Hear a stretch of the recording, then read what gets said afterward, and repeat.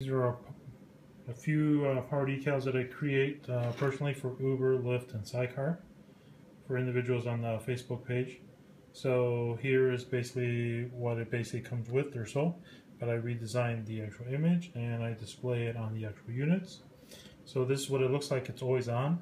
There's a sensor in the back that you can actually turn it off and it's off. Or you can turn it on. It only turns on if the sensor over here in the back is covered. So if we cover this, it's going to assume that it's on. There we go. And so I did the same thing for the Lyft. These have the clear background. So we're going to go ahead and turn off the light. And I have a power button here that I can touch. And you can see they come up. So, and it's just the camera, it's focusing in it. But normally it comes in nice and bright. Oops, uh, where's the other one?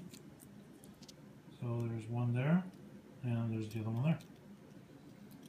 That's pretty cool. So if you're interested, uh, iOS Genius on the YouTube channel, uh, in getting your own power decal. Uh, thanks, and subscribe to the bottom of the YouTube channel at Apple at iOS Genius.